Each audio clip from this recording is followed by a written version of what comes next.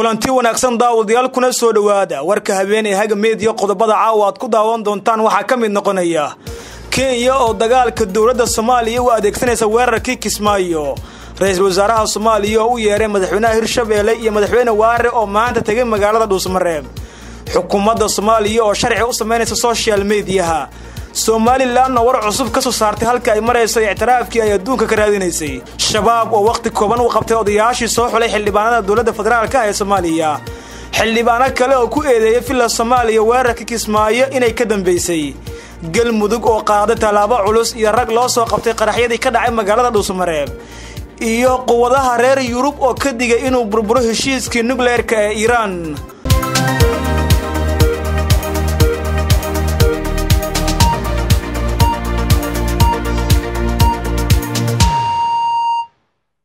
fadlan. Haddii aad nagu cusub tahay sibskraibdha youtube janalkan haga media si aan idinkugu soo gudbino wararkii ugu dambeeyey ee soomaalida iyo caalamka intiisa kale. Hagaag waxaan ku bilaabayaa kenya oo dagaalka soomaaliya dhowr weji u yeelaysa. Dowladda kenya ayaa arrimo siyaasadeed uga faa'iidaysanaysa weerarkii iyo qaraxyadii al-shabaab ay ka fuliyeen magaalada kismaayo.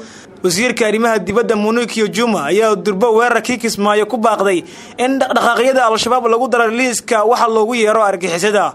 Munikyo juma waxay sheegtay in weerarkii kismaayo uu ahaa qayb kale oo ay xasuusinayso beesha caalamka khatarta al-shabaab iyo sidoo kale soomaaliya si guud sida ay khatar uga jirto. Waxaana halkaas ka muuqanayso in munikyo juma beesha caalamka ay u soo jeedinayso in soomaaliya si ilgaara lagu eego oo cadaadis la saaro. Waxay soo jeedisay in sida ugu dhaqsiyaha badan golaha ammaankai qaramada midoobay ay uga hadlaan arrimaha al-shabaab. Arrinta ururka al-shabaab iyo in lagu daro liiska argixisada ayaa ah arrin siyaasadeed oo ay dowladda soomaaliya iyo kenya isku hayaan. Dowladda soomaaliya ayaa aada u diidan in al-shabaab lagu daro liiska qaramada midoobay ee argixisada. Dowladda soomaaliya ayaa rumaysan haddii sidaas ay dhacdo in kenya ay dalal kale uga faa'iidaysan karaan inay ku beegsadaan shakhsiyaad iyo shirkado soomaaliyeed. Waxay si gaara uga cabsi qabtaa in kenya ay arrintan kula wareegi karto hanti soomaaliyeed oo dalkeeda taalo iyadoona qofkii ay doontaba ay beegsan doonto. Waa haddii sharcigaas muniikii juma ay soo jeedisay ama hadalkaas loo tixgeliyo xildhibaano ka tirsan baarlamanka federaalka ah ee soomaaliya ee labada gole wasaaradda cadaaladda iyo saraakiil ka tirsan maxkamadaha dalka ayaa ka shiray sidii loo sameyn lahaa sharci kumeelgaara oo lagu ciqaabo dadka wararka been abuurka iyo aflagaadada ku dabaca baraha bulshada ay ku kulmaan ee internetka warbaahinta gudaha ayaa ogaatay in xubno ka tirsan guddiga cadaaladda dowladda federaalk ee soomaaliya ay la kulmeen saraakiil ka tirsan hay'adaha garsoorka dalka. Ayna ka dalbadeen in la soo saaro xeer kumeelgaara si deg deg ah kaas oo loo dhaqangelin doono wakhtiga ugu dhow si looga hortago khataraha dowladda federaalk ee soomaaliya ay rumaysan tahay inay kaga imaan karto facebooka twitterka iyo qaybaha kale ee internetka. Arrintan ayaa waxaa soo abaabulay ama isku dabaridkeeda lahaa wasaaradda cadaaladda soomaaliya iyo gudoomiyaha maxkamadda sare. Waxaana dalabkan uu ka yimid ra'iisul wasaaraha soomaaliya xasan cali kheyre iyo madaxweyne maxamed cabdilaahi farmaajo. Samaynta sharcigan degdega ee kumeelgaarka ayaa haatan looga faa'iidaysan karaa maxkamadaha dalka kuwaasi oo la siiyey muddo lixdan cisha ilaa iyo sagaashan cisho gudahooda in sharcigaas ay ku soo yegleelaan iyadoona lagu wargeliyay in dowladda soomaaliya ay doonayso inaysan hay'adaha garsoorka dalka soo celin.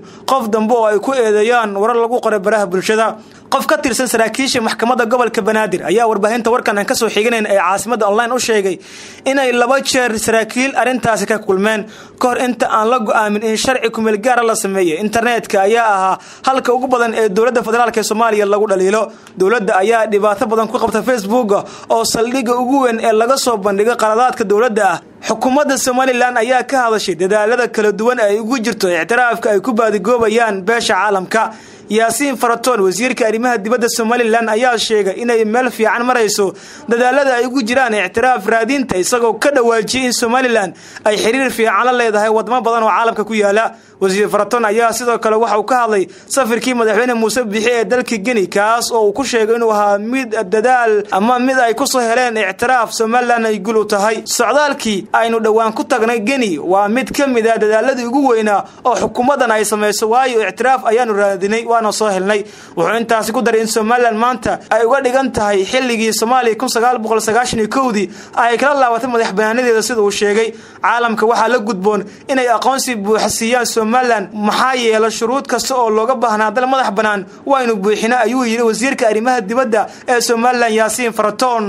Xildhibaan maxamed cali cumar cananuug ayaa sheegay inuu jiro tuhun ku saabsan qaraxii iyo weerarkii jimcihii la soo dhaafa ka dhaca magaalada kismaayo aysanna keli ku ahayn weerarkaasi al-shabaab. Xildhibaankan ayaa waraysi uu siiyey idaacadda kulmiye waxa uu sheegay in weerarkii ka dhacay jimcihii kismaayo uu yimid kadib markii culayska jubbaland ay nabadoonada xasilooni darada ka soo wajahday dowladda federaalk ee soomaaliya islamarkaana uu jiro doorasho xasaasiya oo dowladdu aysan ogolaanin ayuu yidhi in doorashada jubbaland iyadoo ka faramaran ay dhacdo. Laamaha amniga ayaa howshan gacanta ku haya hoteelka la weeraray. Wuxuu ahaa hoteel cusub oo dadka ay xiiseeyaan.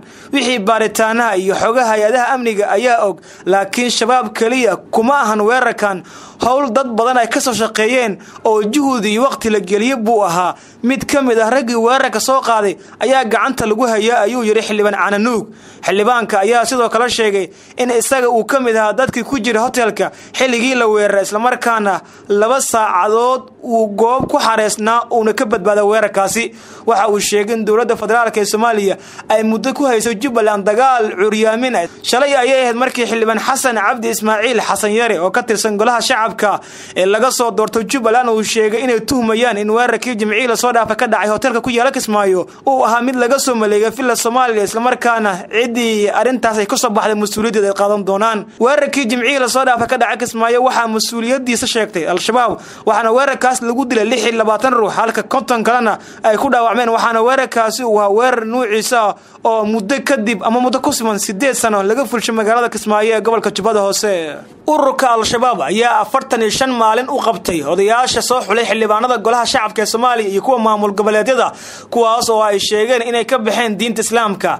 Bayaankan oo ku qornaa luuqada soomaaliga iyo ingiriiska ayaa lagu sheegay in odayaasha ay ku dhaceen fal gaalnimo ah laga doonayana inay ka beri noqdaan ficilkii ay ku dhaceen waxaa loo qabtay muddo afartan iyo shan maalmooda oo ka bilaabanaysa shan iyo tobanka bisha toddobaad laba oo maanta ah kuna eg kowda bisha sagaalaad laba kun sagaal iyo toban iyadoona al-shabaab ay kula taliyeen inay iska soo diiwaangeliyaan maamulada hoostaga iyaga ee koonfurtii bartamaha soomaaliya. Waxaa bayaankan lagu sheegay in ergada ay galeen qalad weyn loona baahan yahay inay ka soo laabtaan lama oga go'aankay qaadan doonaan odayaasha dhaqanka ee soo xilay baarlamanka soomaaliya iyo kuwa maamul goboleeda dalka ka jira. Warkan ka soo baxay al-shabaab ayaa imaanaya xilli toddobaadkii xildhibaan maxamed xuseen afraale oo ka mid a golaha shacabka uu kulanka golaha shacabka ka hor sheegay in ergadii isaga soo dooratay al-shabaab ay u yeereen islamarkaana ay jiraan ergooyin kale oo al-shabaab ay u yeereen.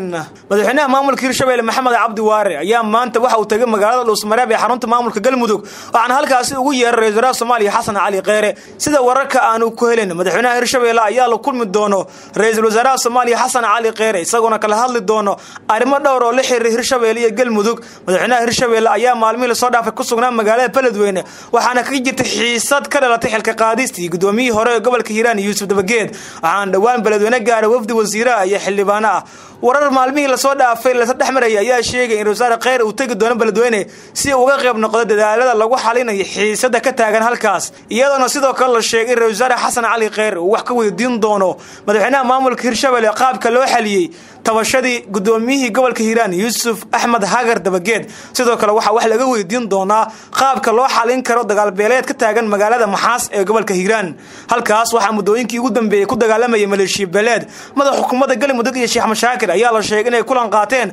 Waxaana sidoo kale la tilmaamay in kulankaas looga hadlay qaabkii loo kala qaadi lahaa maleeshiya beeleedka ku dagaalamaya degmada maxaas iyo matabaan ee gobolka hiiraan. Fadlan haddii aad nagu cusub tahay sibaiskaraabdha youtube janalkan haga media si aan idinkugu soo gudbino wararkii ugu dambeeyey ee soomaalida iyo caalamka intiisa kale. Hagaag markaana qodobkii dibadda. Wadamada yurub ee qaybta ka ah heshiiska nukleerka ee sanadii labada kun iyo shan lala galay oo ay la galeen quwadaha caalamka ayaa ka digay in qayb ahaan ay burburaan heshiiskaasi. Wadamadan ayaa sidoo kale waxa ay dalbadeen in wadahadal lagu dhameeyo xiisada cirkays ku sii shareeraysa ee udhexeysa waddamada washington iyo tehraan waddamada faransiiska britain iyo jarmalka ayaa warsaxa war-saxaafadeed si wadajir ay u soo saareen. Waxa ay ku cambaareeyeen go'aankii maraykanka sannadkii la soo dhaafay uu kaga baxay heshiiska nucleerka waxaan aaminsannahay in aan la joogin waqti aan la aqbali karin ama la rumaysan karin mas'uul inuu ka hor yimaado ama uu kordhiyo. Xiisada maraykanka iyo iiraan iyo waxaan ku baaqaynaa bay sidii loo soo celin lahaa wadahadaladii u dhexeeya labadaasi dal ayaa lagu yiri war-saxaafadeedka xiisadii u dhexaysa washington iyo tehraan ayaa sare u kacday kadib markii bishii may ee sannadkii hore heshiiskii xakamaynta hubka nucleerka uu ka baxay maraykanka kulan ay maanta wasiirada arrimaha dibadda ku yeelan doonaan magaalada brasels ayaa la filayaa in war ay ka soo saaraan qaabka loo damin karo xiisada labada dal maraykanka iyo iiraan guud ahaan daawadayaal intaas ayaan ku soo afmeeraya warkii habeen ee haga media tani warcaynkaani oo kale nabadgeliyo